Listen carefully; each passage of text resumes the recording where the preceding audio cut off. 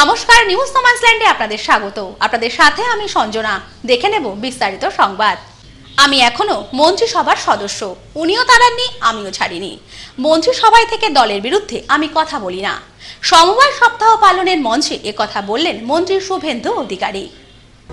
দলীয় পতাকার বাইরে নানা অনুষ্ঠানে নিজের বক্তব্য রাখতে গিয়ে রহস্য জিইয়ে রাখছেন এই মুহূর্তে রাজ্যের সবথেকে আলোচ্য মন্ত্রী শুভেন্দু অধিকারী।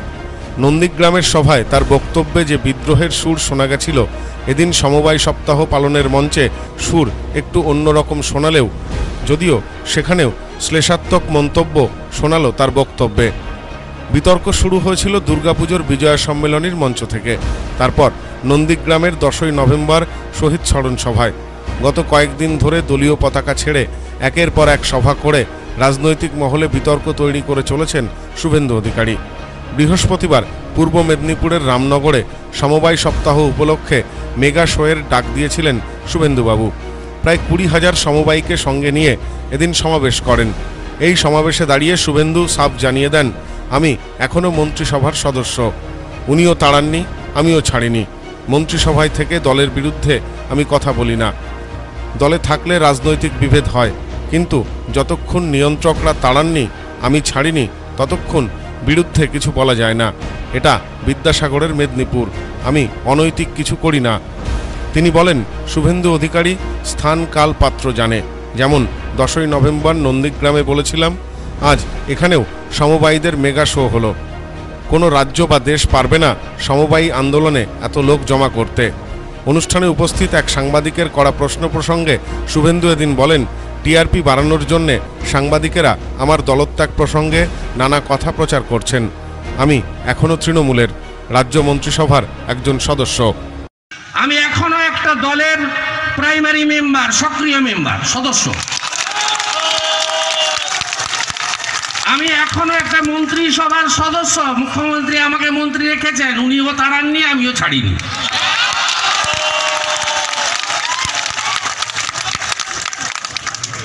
রাজনৈতিক কথাবার্তা দলের ভিতরে থেকে, মন্ত্রিসভায় থেকে বলা যায় না।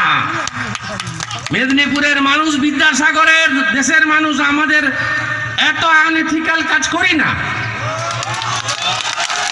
বহুদলীয় গণতন্ত্র,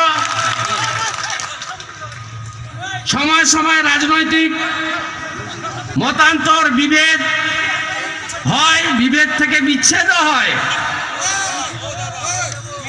কিন্তু যতক্ষণ ওই দলে আছেন, ওই মন্ত্রিসভায় আছেন, যতক্ষণ নিয়ন্ত্রকরা তাড়ায়নি বা আমি নিজে ছাড়িনি, ততক্ষণ এসব মঞ্চে এসব কথা বলা যায় না। একেবারে নীতি, আদর্শ বিসর্জন দিয়ে কাজ করার লোক আমরা নই। ব্যুরো রিপোর্ট নিউজ নোম্যান্সল্যান্ড, পূর্ব মেদিনীপুর। সদ্যজাত শিশুকে নিয়ে টোটো করে বাড়ি ফেরার পথে দুর্ঘটনার কবলে সদ্যজাত ও তার পরিবার। ঘটনাটি ঘটেছে অশোকনগরে। সদ্যজাত শিশুকে নিয়ে টোটোতে করে বাড়ি ফেরার পথে দুর্ঘটনায় পড়ল সদ্যজাত ও তার পরিবার। দুর্ঘটনায় জখম হয়েছেন চারজন। এর মধ্যে শিশুর মায়ের আঘাত গুরুতর অশোকনগর থানার বিল্ডিং মোড় এলাকার ঘটনা। জানা গেছে, অশোকনগর আশরাফাবাদ এলাকার বাসিন্দা পূর্ণ সাহার স্ত্রী এবং পরিবারের লোকজন বৃহস্পতিবার নার্সিংহোম থেকে টোটোতে করে সদ্যজাত শিশুকে নিয়ে বাড়ি ফিরছিলেন। সে সময় বিল্ডিং মোড় এলাকায় পেছন থেকে একটি প্রাইভেট গাড়ি তাদের টোটোতে ধাক্কা মারে। এই ঘটনায় সদ্যজাত শিশু ও তার মা সহ টোটোর যাত্রীরা সকলেই রাস্তায় ছিটকে পড়েন। স্থানীয়দের তৎপরতায় টোটো চালক সহ আহত চারজনকে হাবড়া হাসপাতালে নিয়ে আসা হয়। বর্তমানে সেখানেই তারা চিকিৎসাধীন। অশোকনগর থানার পুলিশ ঘাতক গাড়িটিকে আটক করেছে। অশোকনগর বিল্ডিং মোড়ে একটা চার চাকার সঙ্গে ধাক্কা লাগে। কি গাড়ি? বউটা পড়ে যায় পড়ে যায় মাথা ফেটে যায়। গাড়িটাকে আমরা আটকে রাখি আর অ্যাক্সিডেন্ট পেশেন্টকে আমি তুলে নিয়ে চলে আসি হসপিটালে টোটো করে ফিরছিল বাচ্চা হয়েছে ওনার? হ্যাঁ। কবে হয়েছে? শনিবারে। Bureau report news no man's land Ashoknagar. Kali পূজার ভাসানকে কেন্দ্র করে দুপক্ষের বিবাদ ঘটনায় জখম তিন। অভিযোগের ভিত্তিতে দুজনকে গ্রেপ্তার করেছে উত্তর চব্বিশ পরগনার হাবড়া থানার পুলিশ। কালীপুজোর ভাসানকে কেন্দ্র করে দুই পক্ষের বিবাদ ঘটনায় জখম হলো তিনজন দুপক্ষের একজন করে গ্রেপ্তার। তাদের কাছ থেকে উদ্ধার হয়েছে ধারালো অস্ত্র। ধৃতদের নাম কৃষ্ণ বাড়ুই ও বিশ্বাস। পুলিশ সূত্রে জানা গেছে, বুধবার রাতে হাবড়া থানার মথুরাপুর মাঠপাড়া এলাকায় কালীমায়ের মূর্তি বিসর্জনের পর দুই প্রতিবেশীর মধ্যে বিবাদ বাঁধে। বিবাদের জেরে একে অপরের ওপর ধারালো অস্ত্র নিয়ে ঝাঁপিয়ে পড়লে উভয় পক্ষের তিনজন আহত হয়। আহতদের মধ্যে দুজন হাবড়া হাসপাতালে এবং একজন আরজিকর হাসপাতালে চিকিৎসাধীন। এই ঘটনায় মিনতি বিশ্বাস নামে এক মহিলা পুলিশের কাছে অভিযোগ করেন যে, প্রতিবেশী কৃষ্ণ বাড়ুই উৎপল বাড়ুই ও উত্তম বাড়ুই ধারালো অস্ত্র নিয়ে তার স্বামী বাবু বিশ্বাস, দেওর তাপস বিশ্বাস, ছেলে বিক্রম বিশ্বাসকে মারধর ও ধারালো অস্ত্র দিয়ে আঘাত করে। লিখিত অভিযোগের ভিত্তিতে রাতেই হাবড়া থানার পুলিশ কৃষ্ণ বাড়ুইকে গ্রেপ্তার করে। অপরদিকে তুলিকা বাড়ুই নামে অন্য পক্ষের আরেক মহিলা অভিযোগ করেন। তাকে এবং তার আত্মীয় নির্মল বাড়ুইকে ধারালো অস্ত্র দিয়ে প্রতিবেশী তাপস বিশ্বাস বাবু বিশ্বাস, নিতাই বিশ্বাস, মিনতি বিশ্বাসেরা মারধর করে। সেই অভিযোগের ভিত্তিতে পুলিশ নিতাই বিশ্বাসকে রাতেই গ্রেপ্তার করেছে। ধৃত দুজনের কাছ থেকেই একটি করে ধারালো অস্ত্র উদ্ধার করেছে police. Bureau report, news no man's land Habra. জনসভায় দাঁড়িয়ে পুলিশের বিরুদ্ধে উস্কানিমূলক মন্তব্যের অভিযোগে বর্ধমান আদালত থেকে জামিন পেলেন বিজেপির রাজ্য সভাপতি দিলীপ ঘোষ। জনসভায় দাঁড়িয়ে পুলিশের বিরুদ্ধে উস্কানিমূলক বক্তব্যের অভিযোগে বর্ধমান আদালত থেকে জামিন পেলেন বিজেপির রাজ্য সভাপতি দিলীপ ঘোষ। এদিন আদালতের নির্দেশে আদালতে হাজির হন দিলীপ। জানা গেছে, জনসভায় দাঁড়িয়ে পুলিশের বিরুদ্ধে বক্তব্য রাখেন বিজেপি রাজ্য সভাপতি। সেই বক্তব্যের প্রেক্ষিতে অভিযোগ দায়ের হয় থানায়। সেই মামলায় হাজিরা দিতেই বর্ধমান আদালতে উপস্থিত হন তিনি। আদালত সূত্রে জানা গেছে, পুনরায় ডিসেম্বরের তিরিশ তারিখ এই মামলার পরবর্তী শুনানির দিন স্থির হয়েছে। সেখানে আমি বক্তব্য রাখতে গিয়ে পুলিশ ডিপার্টমেন্ট যে দুরবস্থা আজকে এখানে ঘুষ চলছে। সামাজিক এবং প্রশাসনিক পরিস্থিতি লোককে বোঝাবার জন্য এই কথা বলেছিলাম যেটা বাস্তব পরিস্থিতি সবাই জানেন। সেই জন্য আমার বিরুদ্ধে একজন অভিযোগ করেছেন নাকি পুলিশের মানহানি হয়েছে। তার জন্য আমাকে কোর্টে ডাকা হয়েছিল। আমি আজকে কোর্টে অ্যাপিয়ার হলাম। জয় সাহেবের সামনে উপস্থিত ছিলাম। এটুকুই আমার দায়িত্ব ছিল। আর সেই জন্যই আজকে বর্ধমানে আসা। Bureau report news no man's land Bardhaman. ব্যবসা চালুর দাবিতে বিক্ষোভ দেখালেন রেল হকাররা। এদিন কয়েকশো হকার বসিরহাট স্টেশনে হাতে ফেস্টুন ও পতাকা নিয়ে বিক্ষোভ দেখান।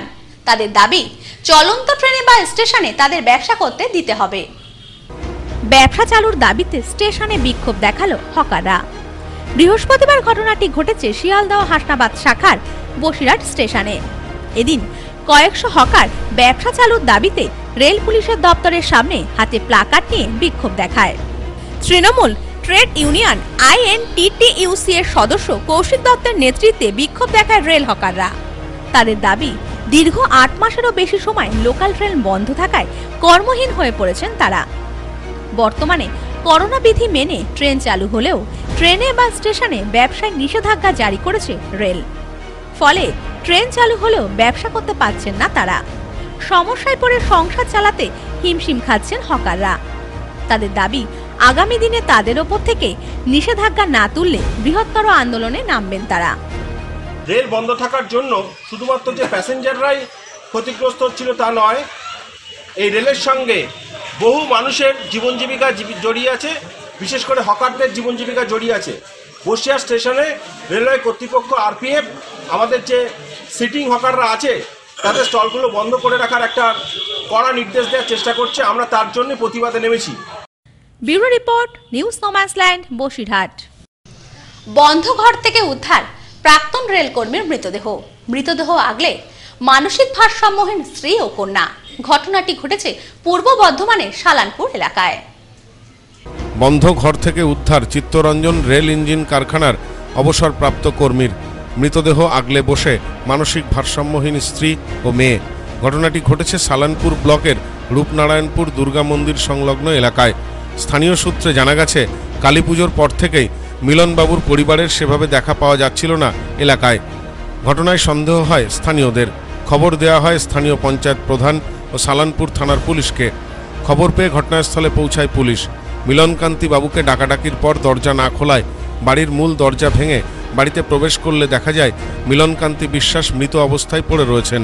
পাশে বসে তার স্ত্রী ও মেয়ে। ওইটা মনে হচ্ছে ওই দু তিন দিন হবে। ও দু তিন দিন হবে। তাও আমি আবার বললাম যে দেখো নিচের ঘরে নেই মনে হয় ওপরের ঘরেই আছে। তখন ওনারা আবার সিঁড়ি নিয়ে দেখে না হ্যাঁ বডি পড়ে আছে। এইটাই। এখন আগে প্রথম তো এলো কারোর সাথে কথা নেই কিছু নেই। ছেলেটাও কারোর সাথে কথা বলতো না। তো হ্যাঁ এখানে পুজো টুজো হতো ছেলেটা আসতো প্রসাদ মশাদ খেত। আর মেয়েটা আর মাটা কোনোদিন বার হয়নি। ওরা সেই ঘরে তো ঘরেই থেকে যাবে। পুলিশ মৃতদেহ উদ্ধার করে ময়নাতদন্তের জন্য আসানসোল জেলা হাসপাতালে পাঠিয়েছে। পাশাপাশি মিলনকান্তি বাবুর স্ত্রী ও মেয়েকে চিকিৎসার জন্য পাঠানো হয়েছে পুরুলিয়া মানসিক হাসপাতালে। কোনো রকম কোনো আওয়াজ পাইনি। তারপরে পাড়ার লোকরা আমাকে সঙ্গে সঙ্গে খবর দেয়। আমাকে বলতে আমি অসীম কুমার ঘোষ পিঠাইগাড়ি পঞ্চায়েত সদস্য, রূপনাথপুর গ্রাম পঞ্চায়েতের অধীনে। আমি সঙ্গে সঙ্গে এসে এলাকার সমস্ত লোকজনকে সঙ্গে নিয়ে, পাড়াপতির সঙ্গে নিয়ে, প্রশাসনকে সঙ্গে নিয়ে আমরা মৃতদেহ এবং ওই দুটি যে পাগল ছিল মানসিক ভারসাম্যহীন ওদেরকে আমরা পাঠাবার ব্যবস্থা করলাম পুরুলিয়া।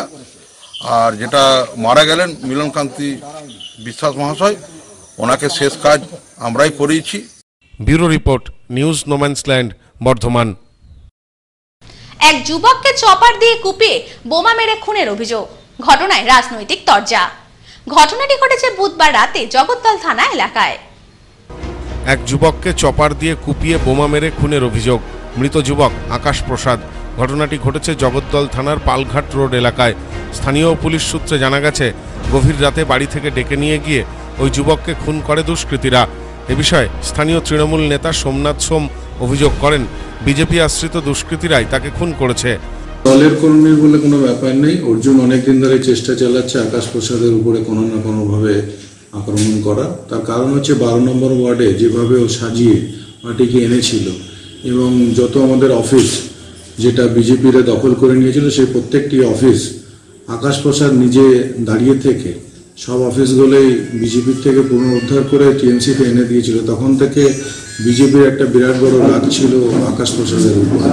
সেই রাগটা হঠাৎ কালকে প্রি প্ল্যান ভাবে একটা ছোট্ট ঝামেলাতে ওকে ডেকে নিয়ে আসে, ও যায় একা মেটানোর জন্য।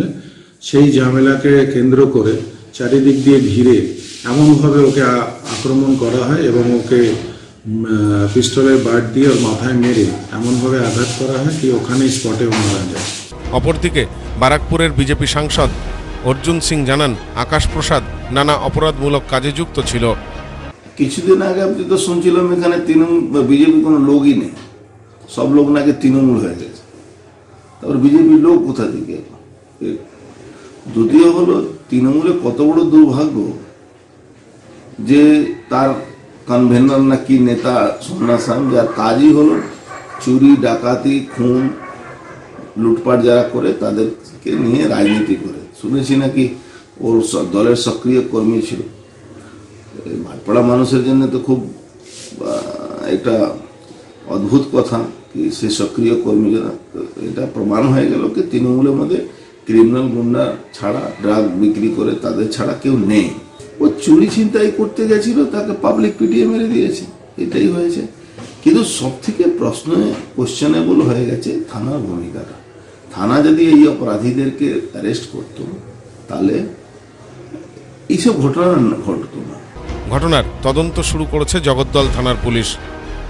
অশোক সাদ বলে একটা পানওয়ালা ছেলে আছে ওর ভাই সব মিলে ওই মেরেছে। Bureau report news no man's land Jagaddal. কুপ্রস্তাবে রাজি না হয় গৃহবধূর স্বামীকে মারধরের অভিযোগ উঠল তৃণমূল নেতার বিরুদ্ধে। ঘটনাটি ঘটেছে পূর্ব বর্ধমানের কালনা এলাকায়। অভিযুক্তর বিরুদ্ধে থানায় অভিযোগ দায়ের হয়েছে। কুপ্রস্তাবে রাজি না হয় গৃহবধূর স্বামীকে বেধড়ক মারধরের অভিযোগ উঠল এক তৃণমূল নেতার বিরুদ্ধে।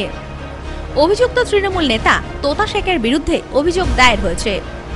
আক্রান্ত গৃহবধূর স্বামীকে হাসপাতালে ভর্তি করা হয়েছে। কাল্লার মন্তেশ্বরের বাসিন্দা এক গৃহবধূকে কুপ্রস্তাব দেয় তৃণমূল নেতা তোতা।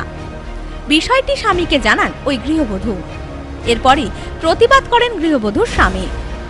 অভিযোগ থানায় অভিযোগ দায়ের করায় গৃহবধূর স্বামীকে স্থানীয় পার্টি অফিসে ডেকে নিয়ে গিয়ে বেধারক মারধর করে তোতা শেখ ও তার দলবল। বেশ কিছুক্ষণ সংজ্ঞাহীন অবস্থায় পড়েছিলেন গৃহবধূর স্বামী। এরপর স্থানীয়রা তাকে উদ্ধার করে হাসপাতালে ভর্তি করেন। আমার স্ত্রীকে অত্যাচার করছিল। দিয়ে এই নিয়ে থানাকে ডায়েরি করে এসেছিলাম। অনেক কটা ছেলে। চ্যাংদোলা করে ধরে বাইকে গিয়ে আমাকে বসালো। দিয়ে পার্টি অফিসে নিয়ে গেল। হুম। পার্টি অফিসে নিয়ে গিয়ে দিয়ে তিনজনা বাঁশের লাঠি কাছে তো লাঠি চালাচ্ছি।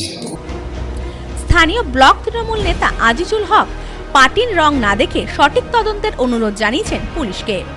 ঘটনার তদন্ত শুরু করেছে মন্তেশ্বর থানার পুলিশ।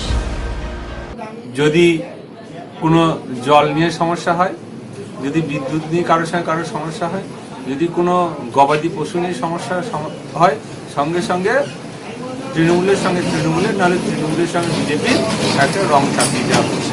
তবে এই কথা সত্য যে কুলিগ্রামে একটা ঘটনা ঘটেছে, আমি টেলিফোন মারফত জানতে পেরেছি। যাদের সঙ্গে ঘটনা হয়েছে, যাদের জড়িত বলে এখানে খবর আসছে, আমি তাদের সঙ্গে ফোনে বারংবার যোগাযোগ করার চেষ্টা করেছি, কিন্তু তাদেরকে ফোনে যোগাযোগ করা যায়নি। ব্যুরো রিপোর্ট, নিউজ নোম্যান্সল্যান্ড, পূর্ব বর্ধমান। আধিকারিকের বাড়িতে দু বছর পিয়নের কাজ করলেই মিলবে রেলের চাকরি। চাকরির আশায় কাজ করতে গিয়ে মিলল স্ত্রীর ছ্যাঁকা। ঘটনাটি ঘটেছে নিউ টাউন থানা এলাকায়। থানায় অভিযোগ দায়ের হয়েছে। রেল আধিকারিকের বাড়িতে দু বছর পিয়নের কাজ করলেই মিলবে রেলের চাকরি। সেই চাকরির আশায় আধিকারিকের বাড়িতে কাজ করতে গিয়ে মিলল স্ত্রীর গরম ছ্যাঁকা। ঘটনাটি ঘটেছে নিউ টাউন থানার উৎসা লাক্সারি আবাসনে। আবাসনের বাসিন্দা রেল আধিকারিক মনোজ খানের বাড়িতে চাকরির আশায় কাজে যোগ দেন অঙ্কুর মণ্ডল নামে এক যুবক। অভিযোগ, কাজে যোগ দেওয়ার পর থেকেই মনোজের স্ত্রী অন্বেষা খান অঙ্কুরের ওপর নানাভাবে অত্যাচার করত।